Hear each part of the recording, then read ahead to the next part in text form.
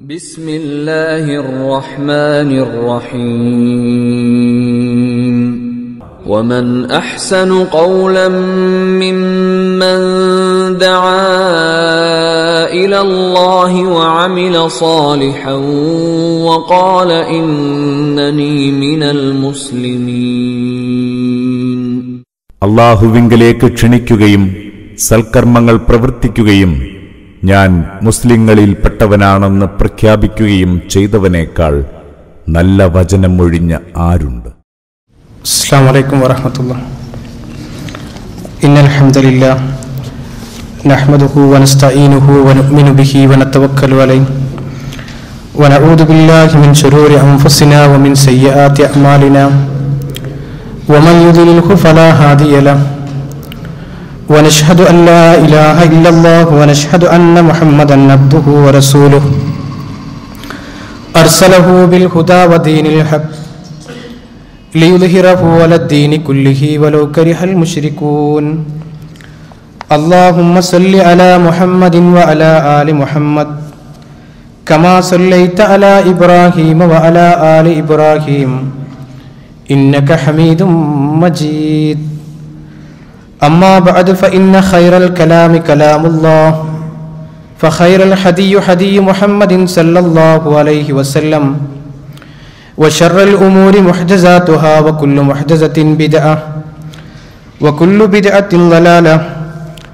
أيها الإخوان اتقوا الله حق تقاته ولا تموتن إلا وأنتم مسلمون. أعوذ بالله من الشيطان الرجيم. بسم الله الرحمن الرحيم إنما المؤمنون الذين إذا ذكر الله وجلت قلوبهم وإذا تليت عليهم آياته زادتهم إيمانا وعلى ربهم يتوكلون رب اشرح لي صدري ويسر لي أمري واخلل عقدة من لساني يفقه قولي സ്നേഹമുള്ള സഹോദരങ്ങളെ അള്ളാഹുവിനെ സൂക്ഷിച്ചുകൊണ്ട് ജീവിക്കണമെന്ന് എല്ലാവരെയും ഓർമ്മപ്പെടുത്തുകയാണ് വസിയത്ത് ചെയ്യുക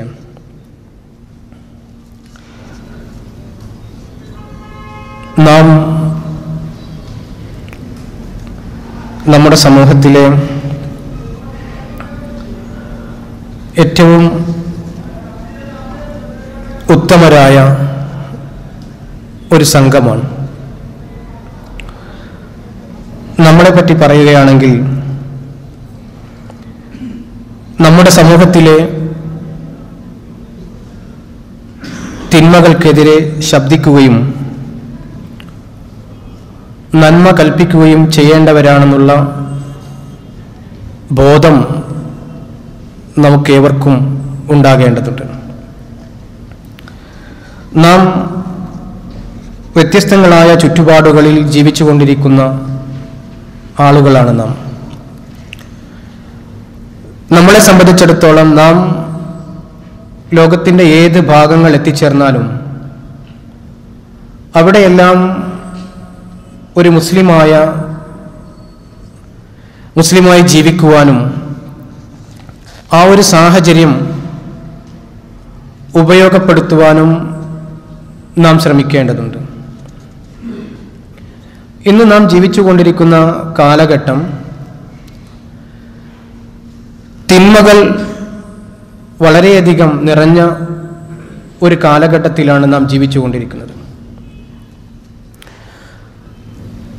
വിശ്വാസത്തോടുകൂടെ ജീവിക്കുവാൻ ഒരു മുത്തക്കിയായി ജീവിക്കുവാൻ വളരെ പ്രയാസമുള്ള ഒരു കാലഘട്ടമാണ് നമ്മുടെ മുമ്പിലുള്ളത്.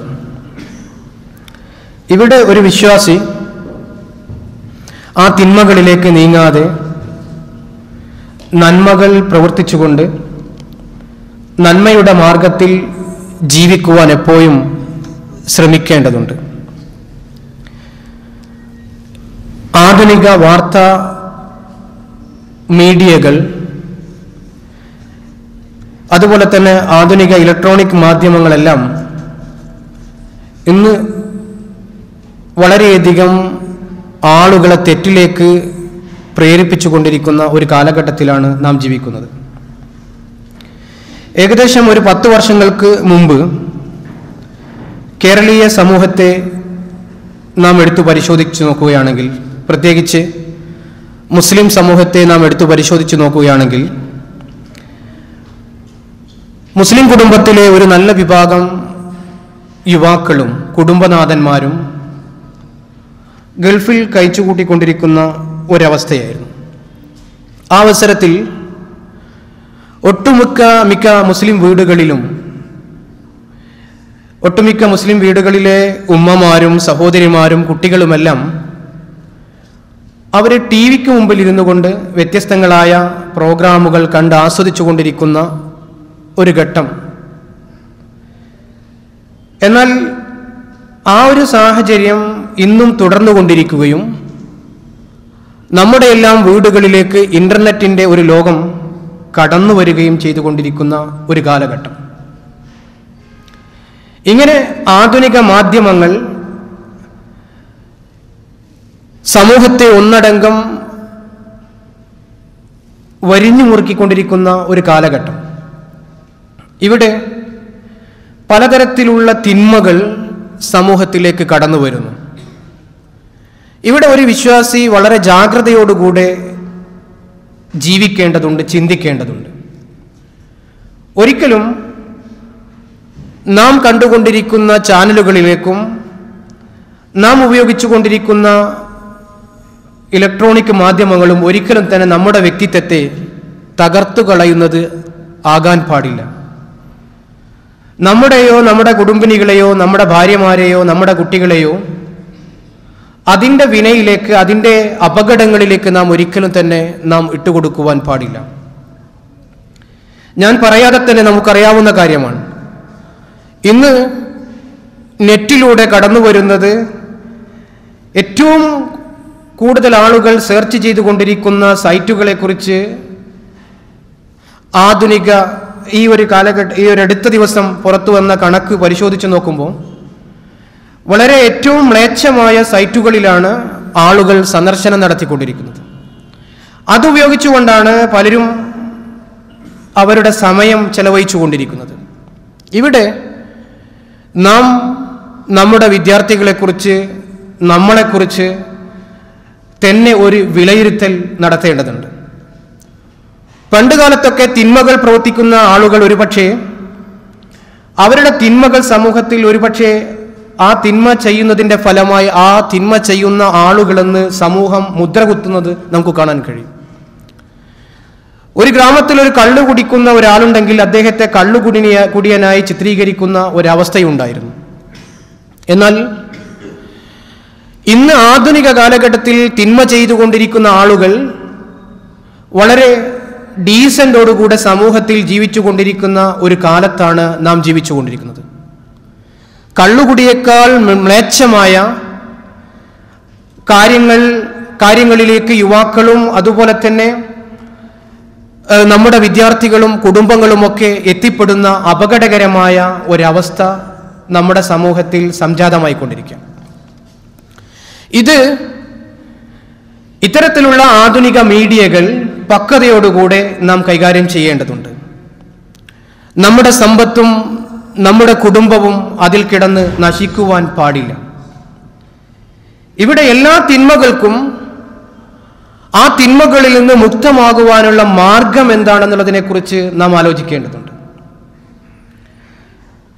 അത് പരിശുദ്ധ ഖുർആാനിലേക്ക് മടങ്ങുക എന്നുള്ളതാണ്.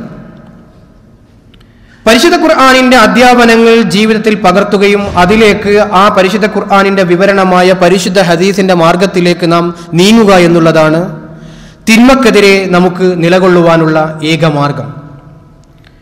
ആ ഒരു അധ്യാപനങ്ങളിലേക്ക് നാം നടന്നു നീങ്ങുമ്പോൾ നമ്മുടെ ഹൃദയം ശുദ്ധമാകുകയും നമുക്ക് തെക്കുവ കൂടുതൽ വർദ്ധിക്കുകയും ചെയ്യുന്ന അവസ്ഥയുണ്ടാകും.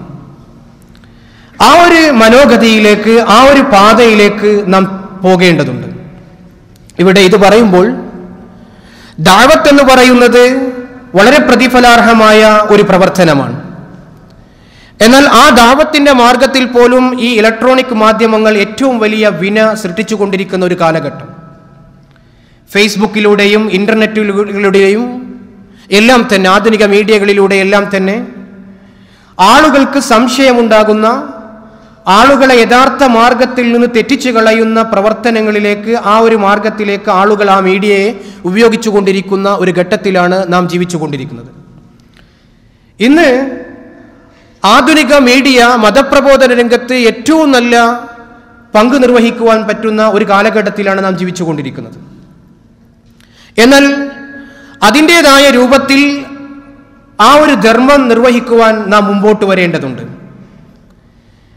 എന്നാൽ ആ മുമ്പോട്ട് വരുന്ന ആളുകൾ ശ്രദ്ധിക്കേണ്ടത് ഒരിക്കലും തന്നെ അപകടകരമായ ഒരവസ്ഥയിലേക്ക് നമ്മുടെ ആ വരവിനെ ഒരിക്കലും മാറ്റുവാൻ പാടില്ല. മറിച്ച് പക്വതയോടുകൂടെ നല്ല ഉദ്ദേശശുദ്ധിയോടുകൂടി ആയിരിക്കണം ആ ഒരു മാർഗം ആ ഒരു മീഡിയ ആ ഒരു മേഖല നാം ഉപയോഗപ്പെടുത്തേണ്ടത്.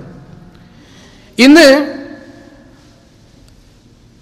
വിജ്ഞാനത്തിന്റെ ഒരു ലോകത്തിലേക്ക് ഈ മാധ്യമങ്ങൾ ഉപയോഗിച്ചുകൊണ്ട് നമുക്ക് കടന്നു ചെല്ലുവാൻ സാധിക്കുന്ന ഒരു ഘട്ടമാണെന്ന് ആ മീഡിയകൾ അതേ രൂപത്തിൽ തന്നെ ആ വിജ്ഞാനത്തിന്റെ മേഖലയിൽ തന്നെ നാം ഉപയോഗിക്കേണ്ടതുണ്ട്. ഇന്ന് ഇത്തരത്തിലുള്ള മീഡിയകൾ ഉപയോഗിക്കുവാൻ ഇസ്ലാമികമായ വിജ്ഞാനങ്ങൾ നേടിയെടുക്കുവാൻ കേവലം അറബി ഭാഷയിലും അതുപോലെ തന്നെ ചില ധാരണകൾ ഉണ്ടായിക്കഴിഞ്ഞാൽ നല്ല രൂപത്തിലുള്ള അറിവ് കരസ്ഥമാക്കുവാൻ ഈ മീഡിയകൾ ഉപയോഗിച്ചുകൊണ്ട് നമുക്ക് സാധിക്കുമെന്നുള്ളതിൽ യാതൊരു സംശയവുമില്ല. പക്ഷേ ഇന്ന് യുവാക്കളിൽ കണ്ടുകൊണ്ടിരിക്കുന്ന ഒരു അപകടകരമായ ഒരവസ്ഥ ഇസ്ലാമിന്റെ അധ്യാപനങ്ങൾ സ്വീകരിക്കേണ്ടത് പരിശുദ്ധ ഖുർആാനിൽ നിന്നാണ് പരിശുദ്ധ ഹദീസിൽ നിന്നാണ്. അതിനു പകരം ചില ആളുകൾ യുവാക്കൾ മുസ്ലിം സമൂഹത്തിലെ ചില യുവാക്കൾ ആദ്യമേ ഒരു ആശയം രൂപീകരിക്കുകയും ആ ആശയ രൂപീകരണത്തിന് ശേഷം അതിനു പറ്റിയ ആയത്തുകളും അതിനു പറ്റിയ ഹദീസുകളും ഇന്ന് നെറ്റുകളിലൂടെ സെർച്ച് ചെയ്ത് കണ്ടുപിടിക്കുന്ന ഒരു അപകടകരമായ ഒരവസ്ഥയിലേക്ക് ഇന്ന് സമൂഹം എത്തിപ്പോകുന്നു. ഇന്ന് നമ്മുടെ സമൂഹത്തിൽ പ്രത്യേകിച്ച് മുസ്ലിം കേരളത്തിൽ ചർച്ച ചെയ്യപ്പെടുന്ന ഒരു സംഭവത്തെക്കുറിച്ച് നാം ആലോചിക്കുകയാണെങ്കിൽ നാം ചിന്തിക്കുകയാണെങ്കിൽ അത് നമുക്ക് കാണാൻ കഴിയുന്നത് ഒരു ജിന്നുമായി ബന്ധപ്പെട്ട ഒരു ചർച്ച ഇന്ന് കേരളീയ മുസ്ലിം സമൂഹത്തിൽ സജീവമായി നിലനിന്നുകൊണ്ടിരിക്കുകയാണ്. അതിന്റെ ആദ്യ പടിയെ നാം പരിശോധിച്ചു നോക്കുകയാണെങ്കിൽ ഇന്ന് ആധുനിക ഇലക്ട്രോണിക് മാധ്യമം മുസ്ലിം സമൂഹത്തിൽ ഉണ്ടാക്കിയ ഏറ്റവും വലിയ അപകടകരമായ ഒരു അവസ്ഥയാണ് ഇന്ന് കേരളീയ മുസ്ലിം സമൂഹത്തിൽ ഇന്ന് നടന്നുകൊണ്ടിരിക്കുന്നത്. അത് കേരളത്തിലാണെങ്കിലും കേരളീയരായ മുസ്ലിങ്ങളായ ആളുകൾ താമസിച്ചു കൊണ്ടിരിക്കുന്ന അവർ ജീവിച്ചു കൊണ്ടിരിക്കുന്ന പ്രവാസ ഗൾഫ് മേഖലകളിലും സജീവമായ ചർച്ച നടന്നുകൊണ്ടിരിക്കുന്നു. ഇത് മുസ്ലിം സമൂഹത്തിന്റെ ഏറ്റവും നല്ല ദാവത്തിനുള്ള ഒരു സന്ദർഭം നഷ്ടപ്പെടുത്തിയിരിക്കുകയാണ്. അതിന്റെ ആദ്യ പടിയെ നാം പരിശോധിച്ചു നോക്കുകയാണെങ്കിൽ ചില ആളുകൾ അവരുടെ ബുദ്ധിയിൽ ഉദിച്ച ഒരു ആശയം രൂപീകരിക്കുകയും ആ ആശയത്തിനനുസരിച്ചുകൊണ്ട് ചില വാക്കുകളെയും ഹദീസുകളെയും ഖുർആാനുകളെയും കോട്ടിമാട്ടിക്കൊണ്ട് സമൂഹത്തിലേക്ക് ഇട്ടുകൊടുക്കുകയും ഒരു ചർച്ച എന്ന രൂപേണ സമൂഹത്തിലേക്ക് വിശിഷ്യ മുസ്ലിം സമൂഹത്തിലെ ഇത്തരത്തിലുള്ള ആധുനിക മാധ്യമങ്ങൾ ഉപയോഗിച്ചു കൊണ്ടിരിക്കുന്ന ആളുകൾ ആളുകളിലേക്ക് ഇട്ടുകൊടുക്കുകയും ചെയ്ത ഒരവസ്ഥ. അതിലൂടെ കറങ്ങി കുറെ കറങ്ങി കറങ്ങി സാധാരണക്കാരായ ആളുകൾ പോലും സംശയവും അതുപോലെ തന്നെ അപകടകരമായ ഒരു അവസ്ഥയിൽ എത്തി നിൽക്കുന്ന ഒരു കാലഘട്ടത്തിൽ ഒരു ഒരു സാഹചര്യത്തിലാണ് നാം ഇന്ന് നിലകൊള്ളുന്നത്. ഇവിടെ വളരെ സൂക്ഷ്മതയോടുകൂടെ വളരെ സൂക്ഷ്മതയോടുകൂടെ നാം ഇത്തരം കാര്യങ്ങളെ നോക്കിക്കാണേണ്ടതുണ്ട്. പ്രത്യേകിച്ച് ഇസ്ലാഹി സമൂഹത്തിൽ മാത്രമല്ല ഈ ഒരു അപകടകരമായ ഒരു അവസ്ഥയുണ്ടായത് കേരളത്തിൽ പ്രവർത്തിച്ചുകൊണ്ടിരിക്കുന്ന ഏതൊക്കെ മുസ്ലിം സംഘടനകളുണ്ടോ ആ സംഘടനകളെ എല്ലാം തന്നെ ഇന്ന് വളരെയധികം വിമർശനങ്ങൾക്കും അതുപോലെ തന്നെ അപജയത്തിനും കാരണമായി തീർന്നിരിക്കുന്നത് ഈ ഒരു മീഡിയയാണ് അഥവാ ഇലക്ട്രോണിക് മീഡിയയാണ്. അതുകൊണ്ട് തന്നെ എന്റെ മുമ്പിൽ ഒരുമിച്ച് കൂടിയിരിക്കുന്ന ആളുകൾ അധികവും ഈ ഒരു കാര്യം ഉപയോഗിച്ചു കൊണ്ടിരിക്കുന്ന ആളുകളാണ്. പക്ഷേ നാം നമ്മെ തന്നെയും നമ്മുടെ സമൂഹത്തെ തന്നെയും തകർക്കുന്ന രൂപത്തിൽ നമ്മുടെ കൈ നമ്മുടെ ബുദ്ധിയോ അല്ലെങ്കിൽ നാം ഉപയോഗിച്ചു കൊണ്ടിരിക്കുന്ന ഈ മാധ്യമങ്ങൾ ഒരിക്കലും തന്നെ പ്രവർത്തിക്കുവാൻ പാടില്ല. നമ്മുടെ ഇസ്ലാം മതത്തിനോ അല്ലെങ്കിൽ ഇസ്ലാമിന്റെ ആശയങ്ങൾക്കോ വിരുദ്ധമായ രൂപത്തിൽ ഒരിക്കലും തന്നെ നാം അത്തരം മാധ്യമങ്ങളെ ഉപയോഗപ്പെടുത്തുവാൻ പാടില്ല എന്ന് സൂചിപ്പിക്കുകയാണ്. ഇവിടെ മതപ്രബോധന രംഗത്ത് ഇങ്ങനെയുള്ള ഒരു അവസ്ഥ സംജാതമായി എങ്കിൽ യുവാക്കളിലേക്കും അതുപോലെ തന്നെ വിദ്യാർത്ഥികളിലേക്കും നാം തിരിഞ്ഞു നോക്കുകയാണെങ്കിൽ വളരെ മ്ലേച്ഛമായ ഒരു ഒരു കാലഘട്ടത്തിലൂടെ ഒരു അവസ്ഥയിലൂടെയാണ് സമൂഹം കടന്നുകൊണ്ടുപോയി പോയിക്കൊണ്ടിരിക്കുന്നത്. നമ്മുടെ കോളേജുകളിൽ പഠിച്ചുകൊണ്ടിരിക്കുന്ന വിദ്യാർത്ഥികളെയും വിദ്യാർത്ഥിനികളെയും നാം പരിശോധിച്ച് നോക്കുകയാണെങ്കിൽ അവരെല്ലാം ഒരു മാനസികമായ ഒരു സംഘർഷത്തിൽ അകപ്പെട്ടുകൊണ്ടിരിക്കുന്ന ഒരു ഘട്ടം. ഇന്ന് ഫേസ്ബുക്കിലൂടെ മെസ്സേജുകൾ കൈമാറുമ്പോൾ പലരും ഇതിനെക്കുറിച്ചുള്ള പഠനങ്ങൾ നമുക്ക് കാണാൻ കഴിയുന്നത് യുവാക്കളായ അല്ലെങ്കിൽ വിദ്യാ കോളേജ് യുവാക്ക വിദ്യാർത്ഥികളായ വിദ്യാർത്ഥിനികളായ ആളുകൾ അവർ ഉറങ്ങുന്ന സമയത്ത് പോലും ചിന്തിക്കുകയാണ്. ഞാൻ അയച്ച മെസ്സേജിന് എങ്ങനെയുള്ള ഒരു പ്രതികരണമായിരിക്കും ഉണ്ടാകുക എന്നുള്ള ഒരു ചിന്തയോടുകൂടെയാണ് ആളുകൾ കിടന്നുറങ്ങുന്നത്. നമ്മുടെ യുവാക്കളും അതുപോലെ തന്നെ വിദ്യാർത്ഥി വിദ്യാർത്ഥിനികളും കിടന്നുറങ്ങിക്കൊണ്ടിരിക്കുന്നത്. ഇങ്ങനെ മാനസികമായ സംഘർഷങ്ങൾ സൃഷ്ടിച്ചുകൊണ്ടുള്ള മാനസികമായ സംഘർഷങ്ങൾക്ക് കടിമപ്പെട്ടുള്ള ഒരു യുവതലമുറയും ഒരു നവതലമുറയാണ് ഇന്ന് നമ്മുടെ സമൂഹത്തിൽ വളർന്നുകൊണ്ടിരിക്കുന്നത്. ഇന്റർനെറ്റിന്റെ കണക്ഷനുള്ള ഗ്രാമങ്ങളെ എടുത്തു പരിശോധിച്ച് നോക്കിയാൽ കേരളത്തിൽ ഇന്റർനെറ്റിലെ കണക്ഷനുകളെ ഉള്ള വീടുകളെയും ഗ്രാമങ്ങളെയും എടുത്തു പരിശോധിച്ച് നോക്കിയാൽ അവിടെ നമുക്ക് കാണാൻ കാണുന്നത് ആരൊക്കെയാണോ പ്രവാസികളായി പ്രവാസ ലോകത്ത് ജീവിതം കഴിച്ചുകൊണ്ടിരിക്കുന്നത് ഗൾഫ് രാജ്യങ്ങളിൽ ജീവിച്ചുകൊണ്ടിരിക്കുന്ന തൊഴിലെടുത്തുകൊണ്ടിരിക്കുന്ന ആളുകൾ ആരൊക്കെയാണോ അവരുള്ള പ്രദേശങ്ങളിലാണ് ഇന്റർനെറ്റിന്റെ കണക്ഷനുകൾ ഇന്ന് കൂടുതലായി വർദ്ധിച്ചുകൊണ്ടിരിക്കുന്നത് എന്നത് നമ്മളെ ചിന്തിപ്പിക്കേണ്ടുന്ന ഒരു യാഥാർത്ഥ്യമാണ്. ഇവിടെ ഇത്തരത്തിലുള്ള മാധ്യമങ്ങളോട് നമുക്കൊരിക്കലും പുറംതിരിഞ്ഞു നിൽക്കുവാൻ സാധ്യമല്ല. മറിച്ച് കാലഘട്ടം പുരോഗമിക്കുമ്പോൾ തന്നെ വിശ്വാസരംഗത്ത് അടിയുറച്ചു നിൽക്കുവാനുള്ള ആ ഒരു ചിന്ത നമ്മുടെ സമൂഹത്തിലേക്കും നമ്മളിലേക്കും നമ്മുടെ വളർന്നു വരുന്ന കുടുംബത്തിലേക്കും നമ്മുടെ വളർന്നു വരുന്ന സമൂഹത്തിലേക്കും നമ്മുടെ മക്കളിലേക്കും നാം ഇട്ടുകൊടുക്കേണ്ടതുണ്ട്. ഇവിടെ ഇത്തരത്തിലുള്ള കാര്യങ്ങളോട് നാം ഒരിക്കലും തന്നെ പുറഞ്ഞ് പുറംതിരിഞ്ഞു നിൽക്കാൻ പാടില്ല. മറിച്ച് ഗുണവശങ്ങളെ ഉപയോഗപ്പെടുത്തുകയും തിന്മകൾക്കെതിരെ ശക്തമായ രൂപത്തിൽ നാം നിലനിൽക്കൊള്ളുകയും ചെയ്യേണ്ടതുണ്ട്. അതുകൊണ്ട് നാം ഒരിക്കലും നാം ഉപയോഗിച്ചു കൊണ്ടിരിക്കുന്ന നാം പ്രവർത്തിച്ചു കൊണ്ടിരിക്കുന്ന നാം ഉപയോഗിച്ചു കൊണ്ടിരിക്കുന്ന ഈ മീഡിയകൾ ഈ മാധ്യമങ്ങൾ ഒരിക്കലും തന്നെ നമ്മുടെ സമൂഹത്തെ തകർക്കുവാനോ നമ്മുടെ വ്യക്തിത്വത്തെ തകർക്കുവാനോ നമ്മുടെ കുടുംബത്തെ തകർക്കുവാന്ന രൂപത്തിൽ നാം ഉപയോഗിക്കുവാൻ പാടേയില്ല എന്ന് നാം വിലയിരുത്തുകയും നാം അത് ഉറച്ച് ഉറച്ച ഒരു തീരുമാനം എടുക്കുകയും ചെയ്യേണ്ടതുണ്ട്. ഇവിടെ സമൂഹത്തിലേക്ക് പരിശുദ്ധ ഖുർആാനിന്റെ വെളിച്ചത്തിലേക്ക് പരിശുദ്ധ ഹദീസിന്റെ വചനങ്ങളിലേക്ക് ആളുകളെ നാം കൊണ്ടുവരേണ്ടതുണ്ട്. ഇവിടെ ഇത്തരത്തിലുള്ള കാര്യങ്ങൾ സംജാതമാകുമ്പോൾ എന്താണ് സംഭവിക്കുന്നത്? അതിന്റെ അപകടകരമാണ്. ആളുകൾ മനോഹരമായ വസ്ത്രങ്ങൾ ധരിച്ച് മനോഹരമായ രൂപത്തിൽ സമൂഹത്തിൽ ഇടപെടുകയും ചെയ്യുന്ന ആളുകളുടെ മനസ്സ് വളരെ മ്ലേച്ഛമാണ്. അവരുടെ മനസ്സുകൾ ഇരുണ്ടുപോയിരിക്കുന്നു. കാരണം ഇത്തരത്തിലുള്ള ആളുകൾക്ക് കാണാൻ സാധ്യമല്ലാത്ത മാധ്യമങ്ങൾ ഉപയോഗിക്കുമ്പോൾ സ്വന്തം തന്നെ സംസ്കരണമില്ലാത്ത ഒരവസ്ഥ വ്യക്തികളിലേക്കും സമൂഹത്തിലേക്കും കടന്നു വരുന്ന ഒരവസ്ഥയുണ്ട്. ഇവിടെ അള്ളാഹുവിനെ കുറിച്ചുള്ള യഥാർത്ഥ ബോധം നമ്മളിലേക്ക് കടന്നു വരേണ്ടതുണ്ട് നമ്മുടെ മക്കളിലേക്ക് കടന്നു വരേണ്ടതുണ്ട് നമ്മുടെ സമൂഹത്തിലേക്ക് കടന്നു വരേണ്ടതുണ്ട്. അതിനുള്ള മാർഗം എന്താണ്? ആ മാർഗത്തിലേക്ക് ആധുനിക കാലഘട്ടത്തിലെ യുവാക്കളെയും വിദ്യാർത്ഥികളെയും കുടുംബത്തെയും എല്ലാം തന്നെ നാം ക്ഷണിക്കേണ്ടതുണ്ട്. അള്ളാഹു പറയുന്നു ഇന്നമൽ മുഅ്മിനൂനല്ലദീന ഇസാ ദുക്കിറല്ലാഹ് യഥാർത്ഥത്തിൽ വിശ്വാസികളായ ആളുകൾ എന്ന് പറയുന്നത് അവർക്ക് അള്ളാഹുവിന്റെ വചനങ്ങൾ ഓതിക്കൊടുത്തു കഴിഞ്ഞാൽ അള്ളാഹുവിനെ കുറിച്ചുള്ള ബോധം അവരിലേക്ക് ഇട്ടുകൊടുത്താൽ വജിലത്ത് കുലൂപവും അവരുടെ ഹൃദയങ്ങൾ ഇടിച്ചുകൊണ്ടേയിരിക്കും. വൈദാ തുലിയത്ത് അലൈഹിം ആയാത്തുഹു നമ്മുടെ വചനങ്ങൾ അവർക്ക് ഓതി കേൾപ്പിച്ചു കൊടുത്താൽ ജാദത്തുഹും ഈമാന അവർക്ക് ഈമാൻ വർദ്ധിച്ചുകൊണ്ടേയിരിക്കും. അവർ അള്ളാഹുവിൽ ഭാരമേൽപ്പിച്ചുകൊണ്ട് മുന്നേറുന്നവരുമായിരിക്കും. ഈ പരിശുദ്ധ ഖുർആാനിന്റെ സന്ദേശങ്ങൾ നാം നമ്മൾ തന്നെ മനസ്സിലാക്കുകയും നമ്മുടെ കുടുംബത്തിലേക്കും നമ്മുടെ അയൽപ്പക്കക്കാരിലേക്കും നമ്മുടെ സുഹൃത്തുക്കളിലേക്കും നാം ഇട്ടുകൊടുക്കേണ്ടതുണ്ട്. കാരണം ഇന്ന് തിന്മകൾ പല മാർഗങ്ങളിലൂടെ കടന്നു വന്നുകൊണ്ടിരിക്കുന്നു. അതുകൊണ്ട് ആ തിന്മയെ പ്രതിരോധിക്കുവാനുള്ള മാർഗം എന്ന് പറയുന്നത് അള്ളാഹുവിന്റെ വചനങ്ങൾ കൊണ്ടുള്ള ചികിത്സയാണ്. അള്ളാഹുവിന്റെ മാർഗത്തിലേക്ക് നമ്മളും നമ്മുടെ സമൂഹത്തെയും ക്ഷണിക്കുക എന്നുള്ളതാണ് അതിനേറ്റവും നല്ല മാർഗം. നല്ല മതവിദ്യാഭ്യാസമുള്ള മതബോധമുള്ള കുട്ടികളായിക്കൊണ്ട് നമ്മുടെ മക്കളെ നാം വളർത്തിയെടുക്കേണ്ടതുണ്ട്. നമ്മുടെ നമ്മുടെ സഹോദരിമാരെ സഹോദരന്മാരെ നാം വളർത്തിയെടുക്കേണ്ടതുണ്ട്. അവർക്ക് ഇത്തരത്തിലുള്ള മൂല്യങ്ങൾ നമ്മുടെ സമൂഹത്തിലേക്ക് നമ്മുടെ കുടുംബത്തിലേക്ക് നമ്മുടെ മക്കളിലേക്ക് നാം പകർന്ന് നൽകേണ്ടതുണ്ട്.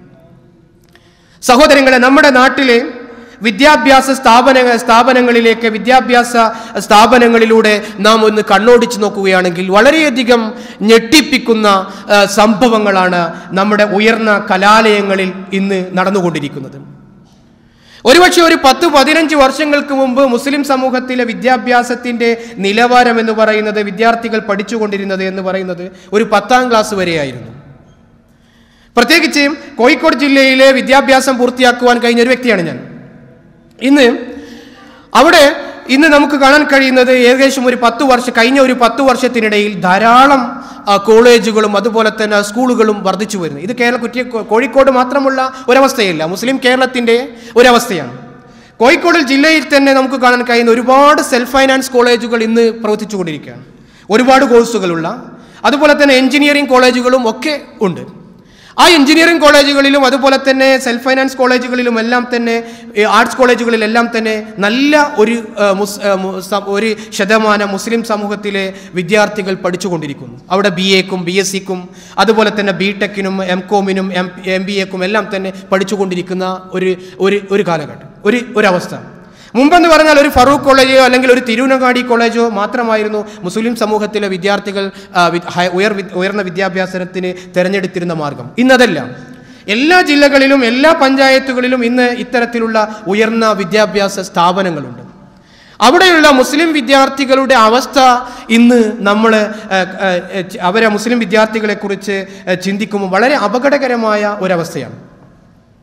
എനിക്ക് തന്നെ രണ്ട് മൂന്ന് വർഷങ്ങൾക്ക് മുമ്പ് ഒരു സെൽഫ് ഫൈനാൻസ് കോളേജിൽ അധ്യാപകനാകുവാൻ ഒരു അറബി അധ്യാപകനായി ജോലി ചെയ്യുവാൻ ഏകദേശം ഒരു മൂന്ന് വർഷത്തോളം അറബി അധ്യാപകനായി ജോലി ചെയ്യുവാൻ ഒരു അവസരം ലഭിച്ചു. അവിടെ ആ സ്ഥാപനത്തിൽ ഒരുപാട് കോഴ്സുകളുണ്ട്. ബി പ്ലസ് ടു കഴിഞ്ഞതിന് ശേഷമുള്ള ഒരുപാട് കോഴ്സുകൾ. ആ കോഴ്സുകളിലെല്ലാം എല്ലാം തന്നെ നല്ല ഒരു ശതമാനം മുസ്ലിം വിദ്യാർത്ഥികളും വിദ്യാർത്ഥിനികളും പഠിച്ചുകൊണ്ടിരിക്കും. അവിടെ അവരെക്കുറിച്ച് ആലോചിക്കുമ്പോൾ അവരൊക്കെ അവരുടെ രക്ഷിതാക്കളൊക്കെ ഒരു നല്ലൊരു ശതമാനം വിദേശത്ത് ഗൾഫ് രാജ്യങ്ങളിൽ ജോലി ചെയ്തുകൊണ്ടിരിക്കുന്ന ആളുകളാണ്. ആ മുസ്ലിം വിദ്യാർത്ഥികളെയും വിദ്യാർത്ഥിനികളുടെയും അവസ്ഥ ആലോചിക്കുമ്പം വളരെ സങ്കടകരമായ അവസ്ഥയാണ് ഉള്ളത്. വളരെ ആധുനികമായ മീഡിയകൾക്കും അതുപോലെ തന്നെ ആധുനികമായ സാഹചര്യങ്ങൾക്കും അടിമപ്പെട്ടുകൊണ്ട് പല തരത്തിലുള്ള സ്വഭാവരംഗത്തുള്ള ഒരുപാട് തിന്മകൾ അവരിലേക്ക് കടന്നു വരുന്ന ഒരവസ്ഥ അവരെ അവസ്ഥ കാണുവാനും സാധി കാണുവാൻ കഴിയും അപ്പോൾ ഇവിടെ ഞാൻ സൂചിപ്പിച്ചു വരുന്നത് നമ്മുടെ സമൂഹത്തിലുള്ള വിദ്യാഭ്യാസം നേടിയെടുക്കുന്ന അല്ലെങ്കിൽ വിദ്യാഭ്യാസ രംഗത്ത് നാം ഒരുപാട് പുരോഗമിച്ചിട്ടുണ്ട്. അതുകൊണ്ട് ഒരു പക്ഷേ നമ്മുടെ മക്കൾ നല്ലവരായിരിക്കാം പക്ഷേ നമ്മുടെ ദൗത്യം അവിടെ മതിയാകുന്നില്ല അവിടെ അവസാനിക്കുന്നില്ല. നമ്മുടെ സഹോദരങ്ങളുടെയും നമ്മുടെ സമൂഹത്തിലെ മുസ്ലിം സമൂഹത്തിലെ ആളുകളുടെ മക്കളെക്കുറിച്ച് അവരുടെ അവസ്ഥയെക്കുറിച്ചുള്ള ചിന്ത നമുക്കുണ്ടാകേണ്ടതുണ്ട്. എന്താണ് നടന്നുകൊണ്ടിരിക്കുന്നത് എന്നുള്ളതിനെ കുറിച്ചുള്ള ഒരു ചിന്ത നമുക്കുണ്ടാകേണ്ടതുണ്ട്.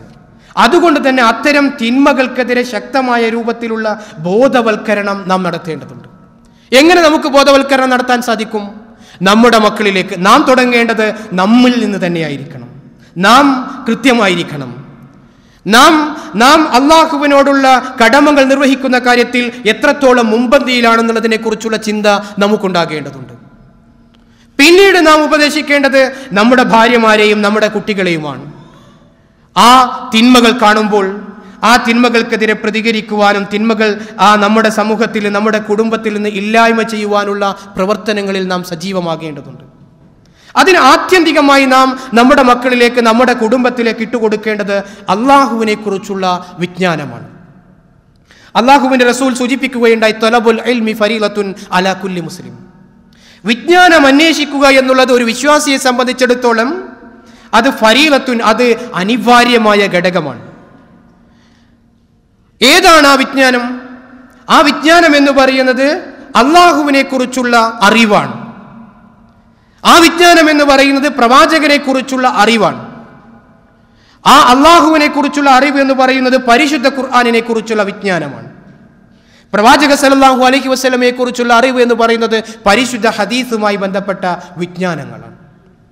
ഈ വിജ്ഞാനങ്ങൾ നാമും നമ്മുടെ കുടുംബവും എത്രത്തോളം നേടിയെടുക്കുന്നതിൽ മുൻപന്തിയിലാണോ എന്ന് നാം പരിശോധിക്കേണ്ടതുണ്ട്. നേരത്തെ ഞാൻ സൂചിപ്പിച്ചുവല്ലോ ഭൗതിക വിദ്യാഭ്യാസ രംഗത്ത് നമ്മുടെ സമൂഹം വളരെയധികം കുതിച്ചുചാട്ടം നടത്തിക്കൊണ്ടിരിക്കുകയാണ്. ഇവിടെ എന്നാൽ നാം അറിയാതെ വിസ്മരിച്ചു പോകുന്നത് നാം അള്ളാഹുവിനെ കുറിച്ചുള്ള ഇസ്ലാം ദീനിനെ കുറിച്ചുള്ള അറിവ് നേടിയെടുക്കുന്നതിൽ നമ്മുടെ സമൂഹം എത്ര എത്ര നമ്മുടെ സമൂഹം എത്രമാത്രം അതിന് പരിശ്രമങ്ങൾ നടത്തുന്നുണ്ട് എന്നുള്ളതിനെക്കുറിച്ച് നാം ആലോചിക്കേണ്ടതുണ്ട് നാം ചിന്തിക്കേണ്ടതുണ്ട്. ഇവിടെ പ്രവാസികളായ നാം നാം വളരെ കൂടുതൽ ഇത്തരം കാര്യങ്ങളെക്കുറിച്ച് ചിന്തിക്കേണ്ടതുണ്ട് അതിനെക്കുറിച്ച് ആലോചിക്കേണ്ടതുണ്ട്. നമ്മുടെ ജീവിതം എരിഞ്ഞമരുവാനുള്ളതല്ല നാം കത്തിച്ചു വിളക്കുന്ന കത്തിച്ചു പിടിക്കുന്ന വിളക്ക് നാം കത്തിക്കുന്ന വിളക്ക് നമുക്കും നമ്മുടെ കുടുംബത്തിനും ഒരു വെളിച്ചമായി തീരേണ്ടതുണ്ട്. എല്ലാം നഷ്ടപ്പെട്ടുകൊണ്ട് നമ്മുടെ കുടുംബം നഷ്ടപ്പെട്ടുകൊണ്ട് നമ്മുടെ സന്താനങ്ങൾ നഷ്ടപ്പെട്ടുകൊണ്ട് നാം അധ്വാനിച്ചതുകൊണ്ട് നമുക്കതിന്റെ അതായ പ്രയോജനം ലഭിക്കുന്നുണ്ടോ? നാം ഒരു ഇടത്താവളത്തിലാണ് ഈ ലോകത്തുള്ളത്. ക്ഷണികമായ ഒരു ജീവിതം മാത്രമാണ് നമുക്കിവിടെ ലഭിക്കാനുള്ളത്. അനന്തമായ ഒരു ലോകത്തിലേക്ക് ആ ലോകത്തിന്റെ ലോകത്തിന്റെ കാര്യങ്ങളെക്കുറിച്ച് ചിന്തിക്കുകയും മനസ്സിലാക്കുകയും ചെയ്യുന്നവരാണ് നാം. അതിനുവേണ്ടി പണിയെടുക്കേണ്ടവരാണ് നാം. അതിനുവേണ്ടിയുള്ള യഥാർത്ഥ മാർഗത്തിലുള്ള പ്രവർത്തനമാണോ നാം നടത്തിക്കൊണ്ടിരിക്കുന്നത്? അതിനുവേണ്ടിയുള്ള തയ്യാറെടുപ്പുകൾ നാം നടത്തുന്നുവോ എന്ന് നാം പരിശോധനയ്ക്ക് വിധേയമാക്കേണ്ടതുണ്ട്. അതുകൊണ്ട് ഈ ഒരു മാർഗത്തിൽ നാം നല്ല രൂപത്തിലുള്ള പരിശ്രമങ്ങൾ നാം നടത്തേണ്ടതുണ്ട്. അള്ളാഹു പറയുന്നു ഇന്നമൽ മുഅ്മിനൂനല്ലദീന ആമനു ബില്ലാഹി വറസൂലിഹി അള്ളാഹുവിലും അവന്റെ പ്രവാചകനിലും വിശ്വസിച്ച വിശ്വാസികളായ ആളുകൾ സുമലം യർത്താബു സബീലില്ലാ അവർ ആ മാർഗത്തിൽ ഉറച്ചു നിൽക്കുകയും വജാഹദു അവർ ജിഹാദ് ചെയ്തുകൊണ്ടിരിക്കും.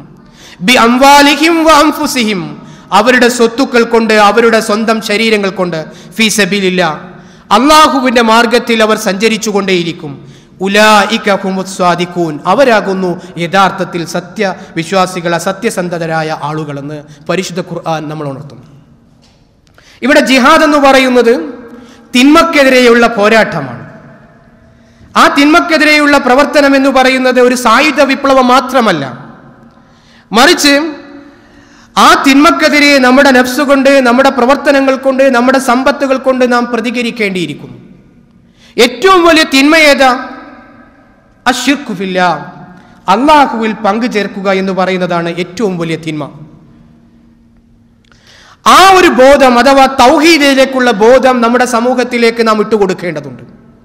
അഥവാ യഥാർത്ഥമായ അള്ളാഹുവിലേക്കുള്ള വിശ്വാസത്തിന്റെ മാർഗം നാം സമൂഹത്തിലേക്ക് നമ്മുടെ മനസ്സുകളിലേക്ക് നമ്മുടെ മനസ്സുകളിലേക്ക് കയറിക്കഴിഞ്ഞാൽ അങ്ങനെ കയറിയ മനുഷ്യന് ഏതൊരു ലോകത്തും ഏതൊരു കാലഘട്ടത്തിലും ജീവിക്കുവാൻ ജീവിക്കുവാൻ സാധിക്കുമെന്നുള്ളതിൽ യാതൊരു സംശയവുമില്ല.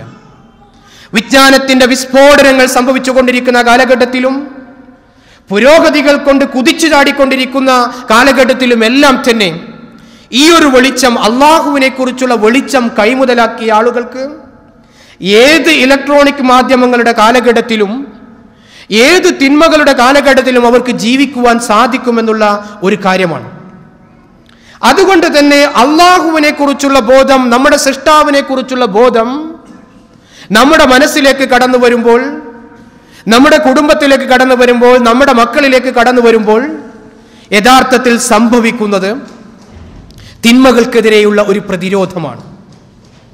ആ തിന്മ ഏറ്റവും വലിയ തിന്മയെ മാറ്റിവെക്കുന്നതോടുകൂടെ അവന്റെ മനസ്സ് ശുദ്ധമായി തീരുന്നു പിന്നീട് അവൻ നല്ലൊരു വ്യക്തിയായി തീരുന്ന ഒരവസ്ഥയുണ്ടാകും അതുകൊണ്ടാണ് അള്ളാഹു നമ്മളോട് പറഞ്ഞിരുന്നത് ജാഹദു ബി അംവാലിഹിം.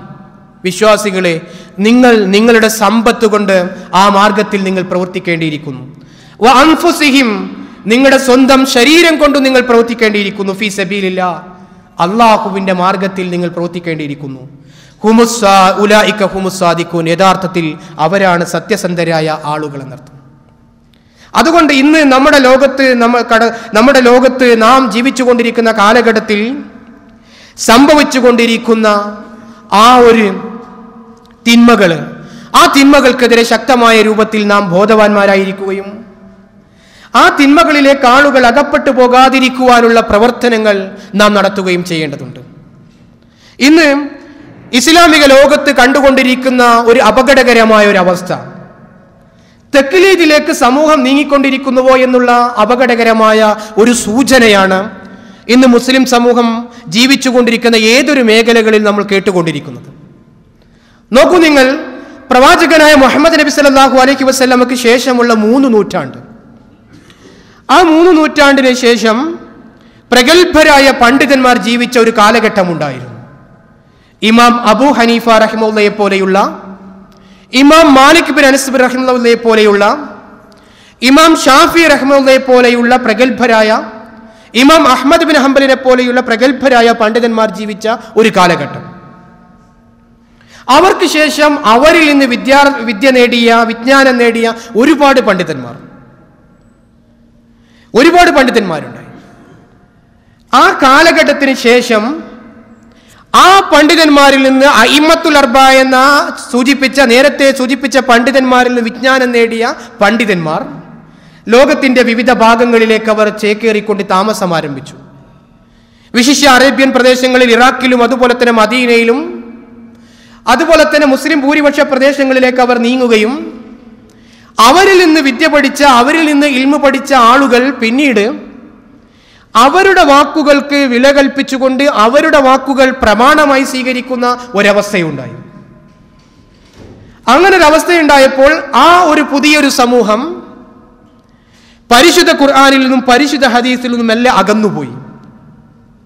അങ്ങനെ അകന്നുപോയപ്പോൾ ഏറ്റവും വലിയ തിന്മ ആ സമൂഹത്തിലേക്ക് ഉണ്ടായിത്തീരുകയായിരുന്നു. അഥവാ മരിച്ചുപോയ പണ്ഡിതന്മാരുടെ കബറുകൾ കെട്ടിപ്പൊക്കിയ ഒരു കാലഘട്ടം. അത് മക്കായിലെ കബർസ്ഥാനുകളിൽ പല കബറുകളും കെട്ടിപ്പൊക്കുന്ന അവസ്ഥയുണ്ടായി. എത്രത്തോളം എന്ന് വെച്ചാൽ ഹദീജ റലി അള്ളാഹു അൻഹുവിന്റെ കബർ പോലും കെട്ടിപ്പൊക്കുന്ന ഒരവസ്ഥയുണ്ടായി. മദീനയിലാണെങ്കിൽ അതിലുപരി. ലോകത്തിന്റെ വിവിധ ഭാഗങ്ങളിൽ ഹജ്ജിനായി വന്നുകൊണ്ടിരിക്കുന്ന ആളുകൾ വിശിഷ്യ ഹജ്ജിനേക്കാൾ അവർക്ക് മർമ്മപ്രധാനമായ കാര്യം എന്ന് പറയുന്നത് മക്കയിലെ കബർസ്ഥാനുകളിൽ ചെന്നുകൊണ്ട് മദീനയിലെ കബർസ്ഥാനുകളിൽ ചെന്നുകൊണ്ട് ബർക്കത്തെടുക്കുക എന്നുള്ള പ്രമുഖമായ ഉദ്ദേശത്തോടു കൂടിയായിരുന്നു ആ ഒരു കാലഘട്ടത്തിൽ. ഹിജറ എട്ടാം നൂറ്റാണ്ടിലും ഏഴാം നൂറ്റാണ്ടിലുമെല്ലാം ഹിജറ ഏകദേശം ഒരു നാനൂറ് അഞ്ഞൂറ് വർഷങ്ങൾക്കിടയിൽ അറുന്നൂറ് വർഷത്തിനിടയിൽ ആ വർ- വർഷ കാലഘട്ടങ്ങളിൽ മുസ്ലിം ലോകത്തിന്റെ വിവിധ ഭാഗങ്ങളിൽ നിന്ന് ഇന്ത്യയെ പോലുള്ള രാജ്യങ്ങളിൽ നിന്ന് ആളുകൾ വ്യത്യസ്തങ്ങളായ മുസ്ലിം മക്കളായ ആളുകൾ വ്യത്യസ്തങ്ങളായ കൊടികൾ കെട്ടിക്കൊണ്ട് ചില പണ്ഡിതന്മാരുടെ നേതൃത്വത്തിൽ ഹജ്ജിൻ എന്നുള്ള പേരിൽ അവരുടെ പ്രമുഖമായ ലക്ഷ്യം ഇത്തരത്തിലുള്ള കബർസ്ഥാനുകളിൽ ചെന്നുകൊണ്ട് അവിടെയുള്ള പണ്ഡിതന്മാരിൽ തബർ തബറുക്കെടുക്കുക എന്നുള്ള ഉദ്ദേശത്തോടു കൂടിയായിരുന്നു അവർ കടന്നു വന്നിരുന്നത്.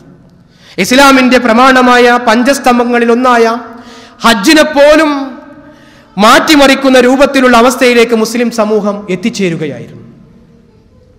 ആ ഒരു കാലഘട്ടത്തിന് സമാപ്തി കുറിക്കുകയായിരുന്നു. അഥവാ പ്രഗത്ഭരായ പണ്ഡിതന്മാർ അറബി ലോകത്ത് ഉദയം ചെയ്യുകയും പ്രമുഖനായ പണ്ഡിതനായ ഷെയ്ഖ് മുഹമ്മദ് അബ്ദുൽഹാബിനെ പോലെയുള്ള ഷെയ്ഖ് ഇബ്രു തേമിയെ പോലെയുള്ള പണ്ഡിതന്മാർ സമൂഹത്തിന്റെ മധ്യത്തിലേക്ക് എഴുന്നേറ്റ് നിന്നുകൊണ്ട് സഹോദരങ്ങളെ നാം പ്രമാണമായി സ്വീകരിക്കേണ്ടത് പരിശുദ്ധ ഖുർആാനിനെയാണ്. രണ്ടാം പ്രമാണമായി സ്വീകരിക്കേണ്ടത് പരിശുദ്ധ ഹദീസിനെയാണ്. നമ്മുടെ സമൂഹത്തിൽ ഇന്ന് കണ്ടുകൊണ്ടിരിക്കുന്ന ഈ തിന്മകൾക്കൊന്നും തന്നെ ഈ ആചാരങ്ങൾക്കോ അനുഷ്ഠാനങ്ങൾക്കോ ഒന്നും തന്നെ പരിശുദ്ധ ഖുർആാനിന്റെയോ പരിശുദ്ധ ഹദീസിന്റെയോ പിൻബലമോ ഇല്ലേ ഇല്ല. പരിശുദ്ധ ഖുർആാനിന്റെ വചനങ്ങൾ ഓതിക്കൊടുത്തുകൊണ്ട് സമൂഹത്തെ അവർ പരിഷ്കരിപ്പിച്ചെടുത്തു. അഥവാ പുനർ പുനർ ഇസ്ലാഹി പ്രവർത്തനത്തിൽ അവർ മുതിർന്നു. ആളുകളെ പ്രമാണമായി പരിശുദ്ധ ഖുർആാനിലേക്ക് അവർ കൊണ്ടുവന്നു.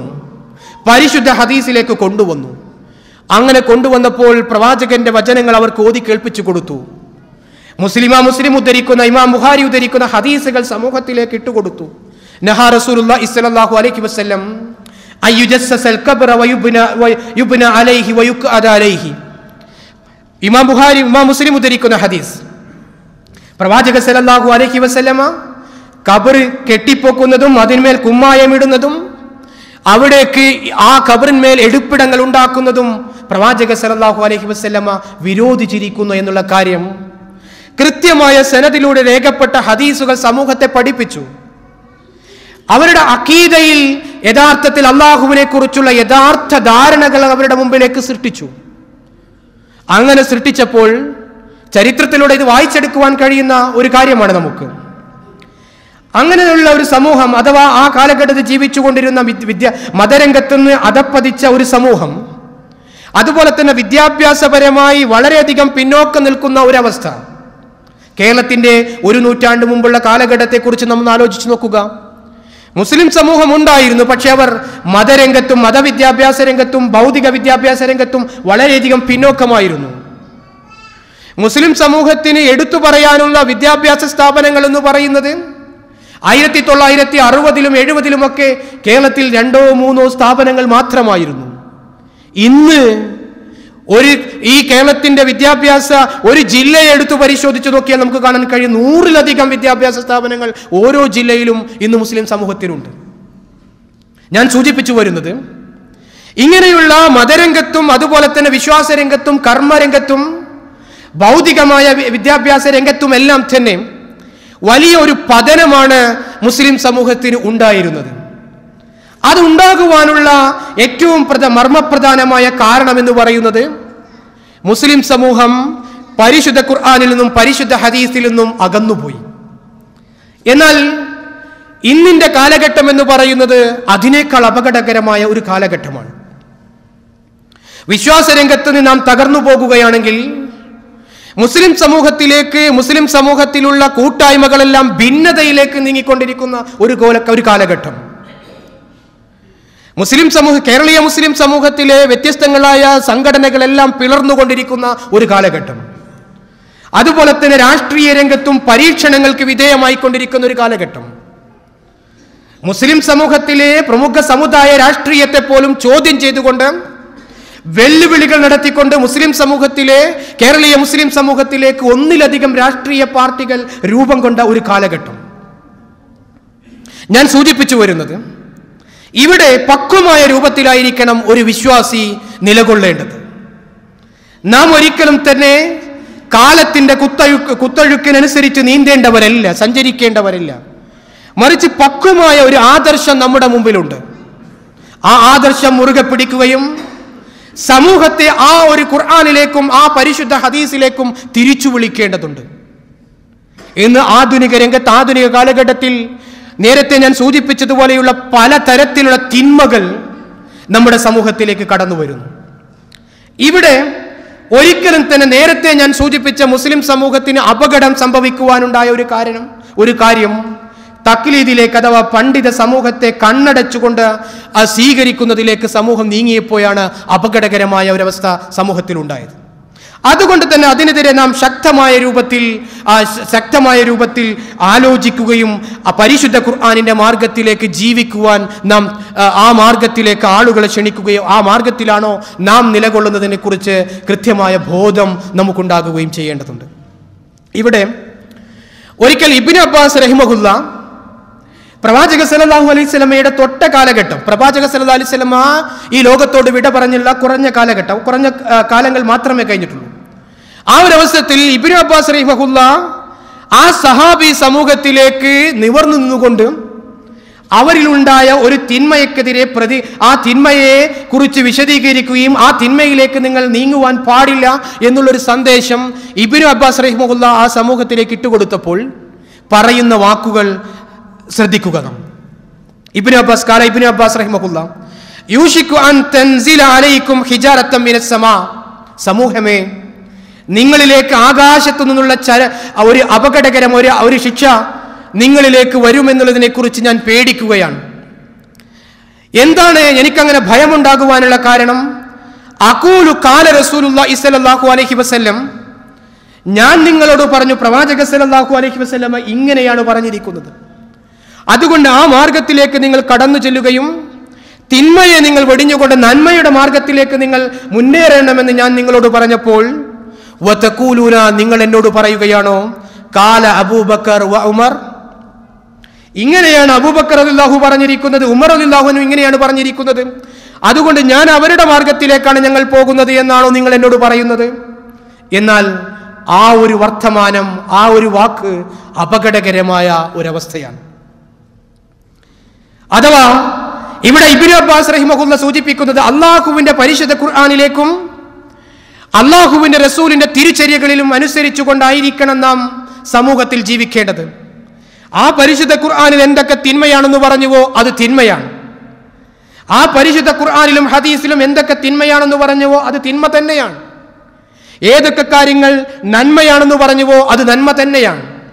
അതൊരു ഏതൊരു കാലഘട്ടത്തിനും ഏതൊരു രാജ്യത്തും എല്ലാം തന്നെ അത് നന്മയും തിന്മയുമാണ്. അതുകൊണ്ട് ആ ഒരു മാർഗമായിരിക്കണം നാം മുറുകെ പിടിക്കേണ്ടത്. അതല്ലാതെ പണ്ഡിതന്മാരുടെ വാക്കുകളിലേക്ക് നാം ഒരിക്കലും പ്രമാണമായി അവരുടെ വാക്കുകൾ സ്വീകരിക്കുവാൻ പാടില്ല. ഒരുപക്ഷെ നമ്മൾ ആലോചിച്ചേക്കാം അവരുടെ വാക്കുകൾ സ്വീകരിച്ചു കഴിഞ്ഞാൽ എങ്ങനെയാണ് നമ്മുടെ സമൂഹം തിന്മ ചീത്തയായി പോകുന്നത്? എങ്ങനെയാണ് സമൂഹത്തിലേക്ക് തിന്മകൾ കടന്നു വരുന്നത് എന്ന് ഒരുപക്ഷെ നാം ചിന്തിച്ചേക്കാം. പക്ഷേ നമ്മുടെ പിടിവള്ളി തൗഹീദാകുന്ന പിടിവള്ളി പ്രവാചക സല്ലല്ലാഹു അലൈഹി വസല്ലമയാകുന്ന തുന്നത്താകുന്ന മാർഗരേഖ ആ മാർഗത്തിൽ നിന്ന് നാം അതപ്പതിച്ചാൽ ആ മാർഗത്തെ നാം ഒഴിവാക്കിയാൽ സ്വാഭാവികമായും എല്ലാ തിന്മകളും നമ്മുടെ സമൂഹത്തിലേക്ക് നമ്മുടെയിലേക്ക് കടന്നു വരുമെന്നുള്ളതിൽ യാതൊരു സംശയവുമില്ല. ഈ വചനത്തെ വ്യാഖ്യാനിച്ച പ്രമുഖനായ ഒരു പണ്ഡിതൻ ഇമാം അഹമ്മദ് ബിൻ ഹംബൽ റഹ്മുല്ല സൂചിപ്പിക്കുകയുണ്ടായി.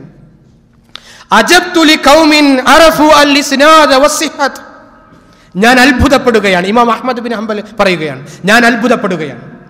ഒരു സമൂഹത്തിന് നന്മയെക്കുറിച്ചും തിന്മയെക്കുറിച്ചുമുള്ള കാര്യങ്ങൾ പ്രവാചക സല്ലല്ലാഹു അലൈഹി വസ്ലമിൽ വന്ന കൃത്യമായി ആ ഹദീസ് കൃത്യമാണ്. ആ അതിന്റെ ഹദീസിന്റെ ഇസ്നാദ് സെനത് കൃത്യമാണ്. അതിൽ പറഞ്ഞിരിക്കുന്ന കാര്യങ്ങൾ നൂറ് ശതമാനവും സത്യമാണെന്ന് ബോധ്യപ്പെട്ട് കഴിഞ്ഞിട്ടും അവർ സൗരി. എന്നിട്ടും ആ സമൂഹം ഇന്നേ ഇമാം അങ്ങനെ പറഞ്ഞല്ലോ ഇന്നേ ഇമാം ഇങ്ങനെ പറഞ്ഞല്ലോ എന്ന വാക്കുകൾ പിടിച്ചുകൊണ്ട് അവരുടെ പിന്നാലെ പോകുന്ന ഒരു അവസ്ഥയുണ്ടായി കഴിഞ്ഞാൽ ആ ഒരവസ്ഥയെ അങ്ങനെ അവസ്ഥ അവരുടെ വാക്കുകൾ പിൻപറ്റുന്ന സമൂഹത്തെ ഞാൻ അത്ഭുതത്തോട് നോക്കിക്കാണുകയാണ്. വല്ലാഹു തആലയക്കൂൽ അള്ളാഹു പറയുന്നു പരിശുദ്ധ ഖുർആനിൽ ഒരു വചനം എടുത്തുകൊണ്ട് അദ്ദേഹം ഉദ്ധരിക്കുകയാണ്.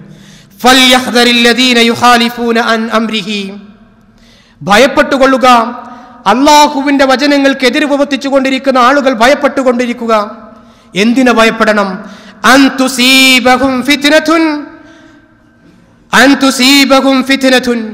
അവർക്ക് ഫിത്തിന വന്നുപെടുന്നതിനെ കുറിച്ച് അവർ ആലോചിക്കുക അവൾ ഭയപ്പെട്ടുകൊള്ളുക.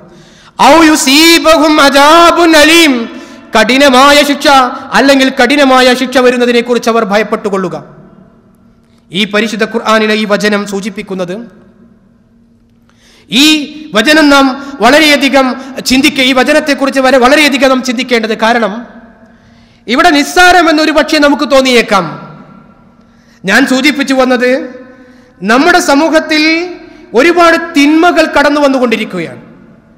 ആ തിന്മകൾക്കെതിരെ നാം പ്രതികരിക്കേണ്ടത് ആ തിന്മകൾക്കെതിരെ നാം തിന്മകൾക്കെതിരെ നാം പ്രതിരോധം തീർക്കേണ്ടത് ആയുധങ്ങൾ എടുത്തുകൊണ്ടല്ല. അല്ലെങ്കിൽ മറ്റേതെങ്കിലും മാർഗങ്ങൾ എടുത്തുകൊണ്ടല്ല. സമൂഹത്തിലേക്ക് അസഭ്യ വാക്കുകൾ പറഞ്ഞുകൊണ്ടല്ല.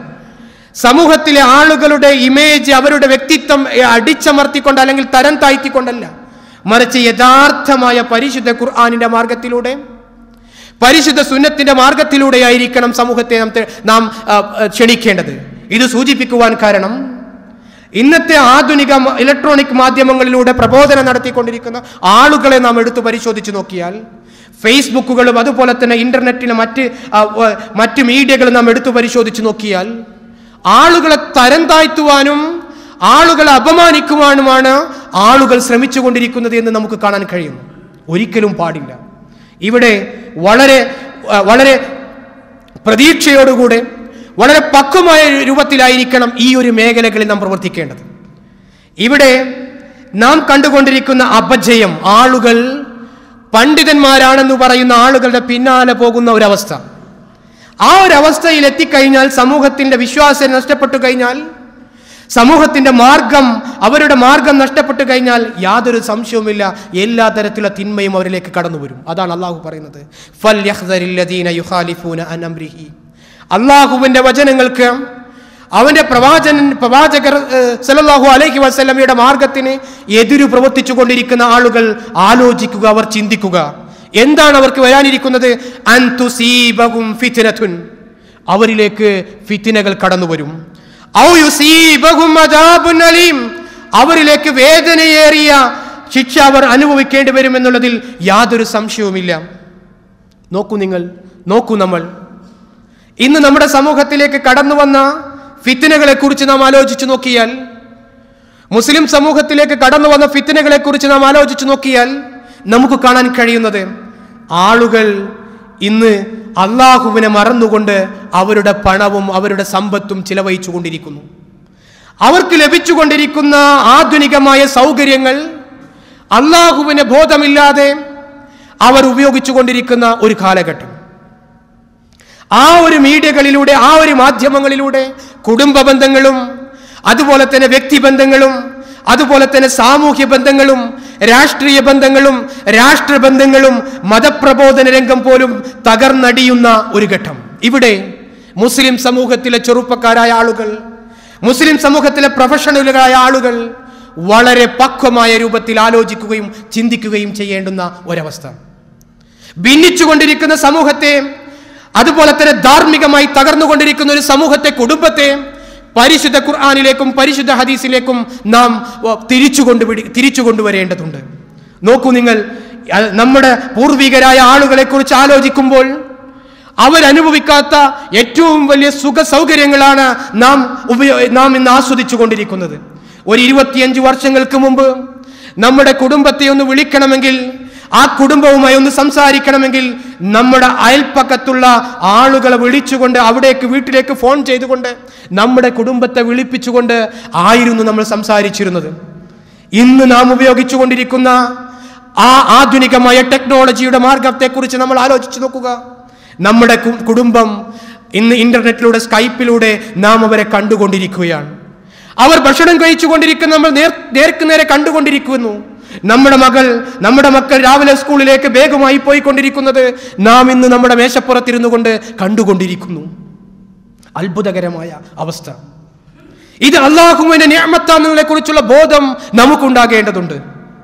ഇത് സൃഷ്ടാവിനെ മറന്നുകൊണ്ടുള്ള ഒരു പ്രവർത്തനം നമുക്ക് പാടില്ല സഹോദരങ്ങളെ. ഞാൻ ആയിരത്തി തൊള്ളായിരത്തി തൊണ്ണൂറ്റിയഞ്ചിൽ ഒരു അറബി കോളേജിൽ പഠിച്ചുകൊണ്ടിരിക്കുന്ന ഒരു കാലഘട്ടം.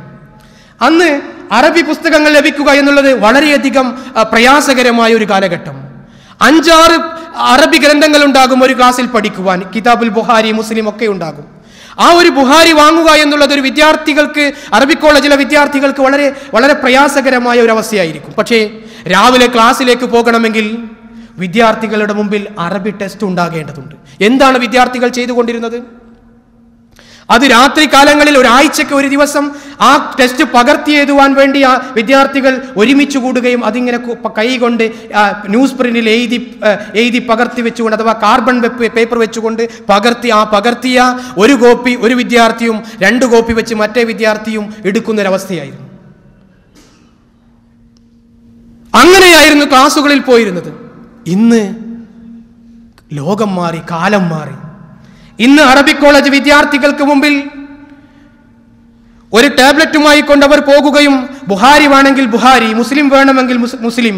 അധ്യാപകർ ഏതൊക്കെ പുസ്തകങ്ങൾ റെഫറൻസ് ആയി പറയുന്നുവോ അതൊക്കെ ആ വിദ്യാർത്ഥികൾക്ക് വിദ്യാർത്ഥിക്ക് ആ ഡെസ്കിൽ ഇരുന്നു കൊണ്ട് തന്നെ സ്വന്തം മുമ്പിൽ ഇരുന്നു കൊണ്ട് തന്നെ എല്ലാ ഗ്രന്ഥങ്ങളും റെഫർ ചെയ്യുവാനുള്ള ഒരവസ്ഥ വിദ്യാർത്ഥികൾക്ക് മുമ്പിൽ സംജാതമായിരിക്കുന്നു അതുപോലെ തന്നെ ആധുനിക പ്രബോധന പ്രബോധന പ്രവർത്തനങ്ങൾ നടത്തിക്കൊണ്ടിരിക്കുന്ന ആളുകൾക്ക് വിജ്ഞാനത്തിന്റെ ആയങ്ങളിലേക്ക് ഇറങ്ങിച്ചെല്ലുവാനുള്ള അപാരമായ ഒരു അവസ്ഥ ഇന്നുണ്ടായിരിക്കും. ഒരു കാര്യത്തെക്കുറിച്ച് സംശയമുണ്ടായാൽ ഒരു പണ്ഡിതനോട് ചോദിക്കുവാൻ ദിവസങ്ങളോളം കാത്തിരിക്കുമായിരുന്നു. എന്നാൽ ഒരു വിഷയത്തിൽ എന്താണ് അഭിപ്രായമെന്ന് വ്യത്യസ്തങ്ങളായ പണ്ഡിതന്മാരുടെ അഭിപ്രായങ്ങൾ കാണുവാനും അത് മനസ്സിലാക്കുവാനും സെക്കൻഡുകൾ കൊണ്ട് നമുക്ക് കഴിയുന്നു. അവരെഴുതിയ ടെസ്റ്റ് നമുക്ക് കാണാൻ കഴിയുന്നു. അവരുടെ സംസാരം നമുക്ക് കേൾക്കുവാൻ കഴിയുന്നു. ഇവിടെ ഞാൻ സൂചിപ്പിച്ചു വരുന്നത്. ഇത്തരത്തിലുള്ള ആധുനിക സൗകര്യങ്ങൾ ഒന്നും തന്നെ സൃഷ്ടാവിനെ മറന്നുകൊണ്ട് നാം ഉപയോഗിക്കുവാൻ പാടില്ല. അള്ളാഹുവിനെ കുറിച്ചുള്ള ബോധമുണ്ടാകേണ്ടതുണ്ട്. ഇത് ഈ വിജ്ഞാന രംഗത്താണെങ്കിൽ നമുക്ക് മറ്റുള്ള കാര്യങ്ങളിലേക്ക് നമുക്കിത് ഈ കാര്യങ്ങളെ നമുക്ക് കണ്ണോടിച്ച് വായിച്ചു നോക്കുവാനേ വായിച്ചു നോക്കുവാൻ കഴിയും.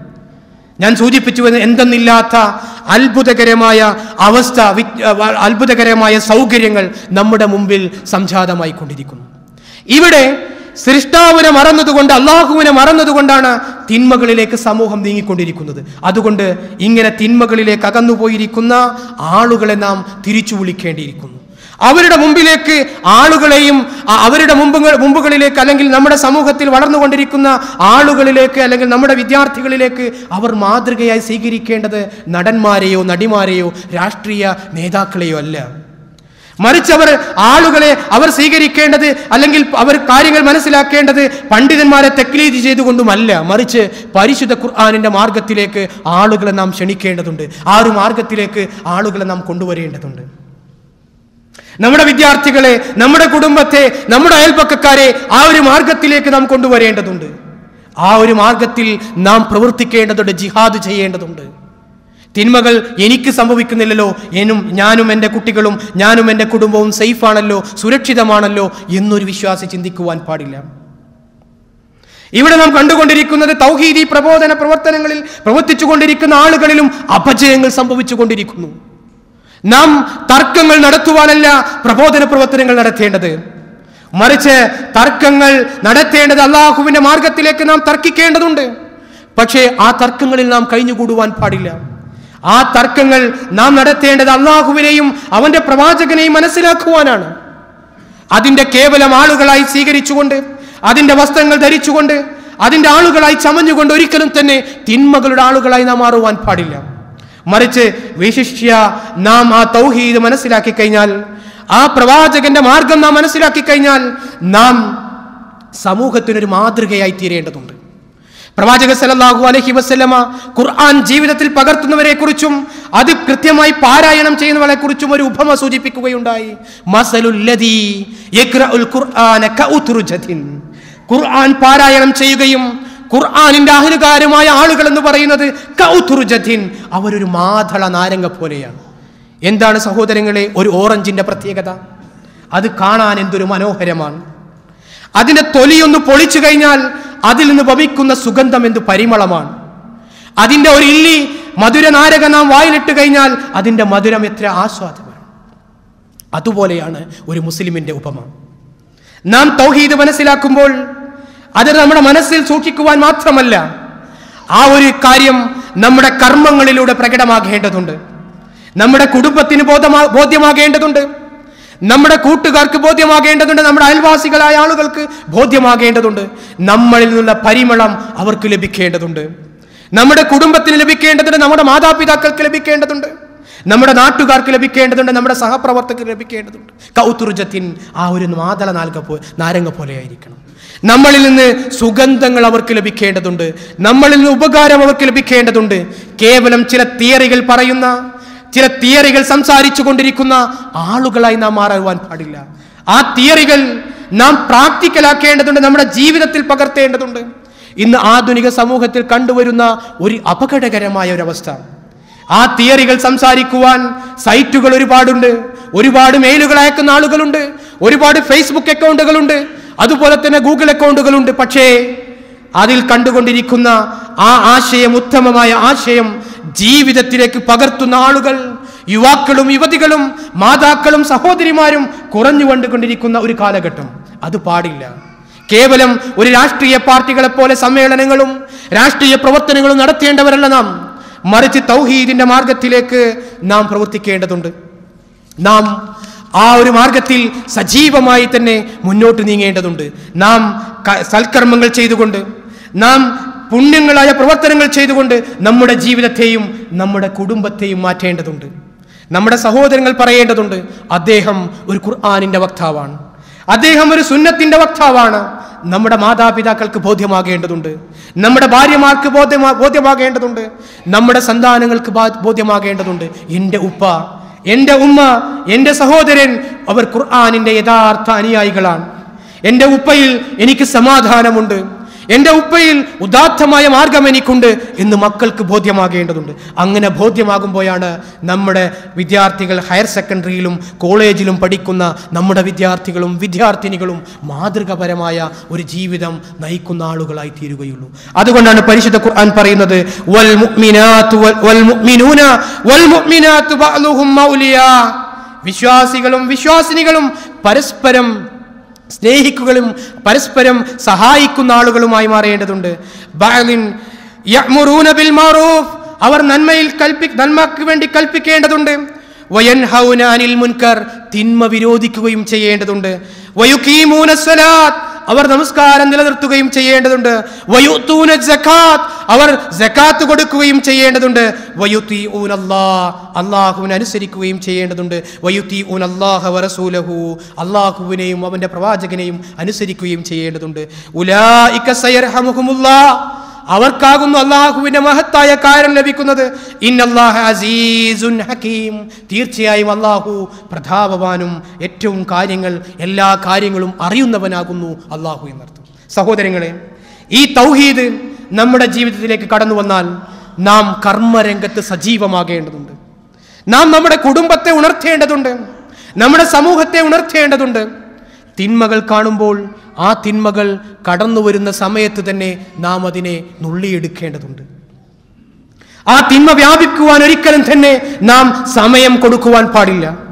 നമ്മുടെ കുട്ടികളെ വളർത്തിയെടുക്കുമ്പോൾ നമ്മുടെ കുട്ടികളുമായി നാം ഉപദേശിക്കുമ്പോൾ ആ തിന്മകൾ കാണുന്ന സമയത്തെ അവരിൽ നിന്ന് തിന്മ നീക്കുവാനുള്ള പ്രവർത്തനങ്ങൾ നാം നടത്തേണ്ടതുണ്ട്. അങ്ങനെ ചെയ്തില്ല എങ്കിൽ അതിന്റെ അപകടങ്ങളെക്കുറിച്ച് നാം ബോധവാന്മാരാണ്. നാം ആധുനിക കാലഘട്ടത്തിൽ ജീവിച്ചു കൊണ്ടിരിക്കുന്ന ആളുകളാണ്. അതുകൊണ്ട് നമ്മുടെ ബാധ്യത എന്ന് പറയുന്നത് യഅ്മുറൂന ബിൽ മഅറൂഫ് നന്മ കൽപ്പിക്കേണ്ടതുണ്ട്. വയൻഹൗനാനിൽ മുൻകർ തിന്മയെ നാം വിരോധിക്കുകയും ചെയ്യേണ്ടതുണ്ട്. വയുഖീമൂന സ്വലാത്ത് നമസ്കാരം നാം നിലനിർത്തുകയും ചെയ്യേണ്ടതുണ്ട്. ഇവിടെയെല്ലാം പരിശുദ്ധ ഖുർആനിൽ നമസ്കാരത്തെക്കുറിച്ച് പറഞ്ഞ സമയത്തെല്ലാം തന്നെ യുക്കീമൂന സ്വലാത്ത എന്ന പദപ്രയോഗമാണ് പരിശുദ്ധ ഖുർആൻ നടത്തിയിരിക്കുന്നത്. അത് സമയബന്ധിതമായി ആ സമയത്തിനനുസരിച്ചുകൊണ്ട് നാം നമസ്കരിക്കേണ്ടതുണ്ട്. ആ നമസ്കാരം എന്ന് പറയുന്നത് നമ്മുടെ തിന്മകളിൽ നിന്ന് തടഞ്ഞു നിർത്തുന്ന ഒരു മഹത്തായ ആരാധനയാണ് നമസ്കാരം എന്ന് പറയുന്നത്. അതുകൊണ്ട് തന്നെ നാം നമസ്കരിക്കുകയും ആ നമസ്കാരത്തിലെ ദിക്റുകളും ദ്വാകളും എല്ലാം തന്നെ ഹൃദയസ്പൃക്കായ രൂപത്തിൽ നമ്മുടെ ഹൃദയത്തിൽ തട്ടിയ രൂപത്തിൽ നാം പ്രാർത്ഥിക്കേണ്ടതുണ്ട്. നാം അത് നടത്തേണ്ടതുണ്ട്. കൃത്യമായി നമസ്കാരത്തിൽ എല്ലാം തന്നെ ആ ഒരു ഹൃദയസ്പൃക്കായ രൂപത്തിൽ നാം നടത്തേണ്ടതുണ്ട്. അതാണ് ഞാൻ നേരത്തെ ഓതുവെച്ച ആയത്ത്. ആ വിശ്വാസികൾ എന്ന് പറയുന്നത് ഇന്നമൽ മുഅ്മിനൂനല്ലദീന ഇതാ ദുഃഖിറല്ലാ. അള്ളാഹുവിനെ കുറിച്ച് ഓർക്കുമ്പോൾ വജിലത് കുലൂബുഹും അവരുടെ ഹൃദയങ്ങൾ ഇടിച്ചുകൊണ്ടേയിരിക്കും. അവർക്ക് അള്ളാഹുവിന്റെ വചനങ്ങൾ പ്രവാചക സലല്ലാഹു അലഹി വസല്ലമയുടെ വചനങ്ങൾ അവർക്ക് ഓതിക്ക് കേൾപ്പിച്ചു കൊടുക്കുമ്പോൾ സാദത്തുഹും ഈമാന അവർക്ക് ഈമാൻ വർദ്ധിച്ചുകൊണ്ടേയിരിക്കും. വ അലാ റബ്ബിഹിം യതവക്കലൂൻ. അവർ അള്ളാഹുവിൽ ഭാരമേൽപ്പിച്ചുകൊണ്ട് മുന്നേറുന്നവരുമായിരിക്കും എന്നുള്ളതിൽ യാതൊരു സംശയവുമില്ല. അതുകൊണ്ട് ഇവിടെ നാം നമ്മുടെ മനസ്സിനെ ഒരു പരിശോധനയ്ക്ക് വിധേയമാക്കേണ്ടിയിരിക്കുന്നു എന്താണ് ആ പരിശോധന? എനിക്ക് നമസ്കരിക്കുമ്പോൾ എനിക്ക് ആരാധനകൾ അർപ്പിക്കുമ്പോൾ ഒരു മനസാന്നിധ്യത്തോടുകൂടെ എനിക്ക് നമസ്കരിക്കുവാൻ കഴിയുന്നുണ്ടോ? എനിക്ക് അള്ളാഹുവിനോട് മനസ്സ് തുറന്നുകൊണ്ട് പ്രാർത്ഥിക്കുവാൻ കഴിയുന്നുണ്ടോ എന്ന് നാം സ്വമേധയാ നമ്മുടെ മനസ്സിനോട് ചോദിക്കേണ്ടിയിരിക്കുന്നു.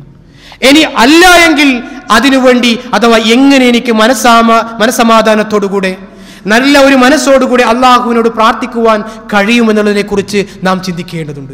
അപ്പോഴാണ് നമ്മുടെ മനസ്സിലേക്ക് കടന്നു വരുന്നത് ഞാൻ ഈ തിന്മകളെല്ലാം ചെയ്യുന്ന വ്യക്തിയാണ്. ഞാൻ ഈ തിന്മകളൊക്കെ പ്രവർത്തിക്കുന്ന ഒരു സ്ത്രീയാണ് ഒരു പുരുഷനാണ് എന്ന് നമുക്ക് ബോധം വരുന്നു. അങ്ങനെ ബോധമുണ്ടാകുമ്പോൾ ആ തിന്മകളെ നാം മാറ്റി നിർത്തുകയും അങ്ങനെ തിന്മകളെ മാറ്റി നിർത്തുമ്പോൾ നാം തന്നെ നാം ചെയ്ത് ഞാൻ ചെയ്യുന്ന തിന്മ എനിക്ക് മാത്രമേ അറിയുകയുള്ളൂ. അതുപോലെ തന്നെ നമ്മളിൽ ഓരോരുത്തരും ചെയ്തുകൊണ്ടിരിക്കുന്ന തിന്മ നമുക്ക് മാത്രമേ അറിയുവാൻ സാധിക്കുകയുള്ളൂ. അതുകൊണ്ട് നാം തന്നെ നമ്മുടെ മനസ്സിനോട് ചോദിക്കുക എന്റെ തിന്മ ഏതാണ്? ഞാൻ ചെയ്തുകൊണ്ടിരിക്കുന്ന തിന്മ ഏതാണ്? ആ തിന്മയാണ് എന്റെ നന്മയിലേക്ക് എനിക്ക് തടസ്സം നിൽക്കുന്നത്. അതുകൊണ്ട് ആ തിന്മയെ ഞാൻ കണ്ടുപിടിക്കുകയും ആ തിന്മക്ക് വേണ്ടി ചികിത്സ നടത്തുകയും ചെയ്യേണ്ടത് നാം ആണെന്നുള്ള ബോധം നമുക്കുണ്ടാക്കേണ്ടതുണ്ട് സഹോദരങ്ങളെ നമ്മുടെ ശരീരത്തിന് ഒരു രോഗം ബാധിച്ചു കഴിഞ്ഞാൽ ആ രോഗം എന്താണെന്ന് കണ്ടെത്തുവാൻ വേണ്ടി എത്ര തരത്തിലുള്ള ആധുനികമായ ടെക്നോളജികൾ ആധുനികമായ വൈദ്യശാസ്ത്ര രംഗം നാം ഉപയോഗിക്കാറുണ്ട്.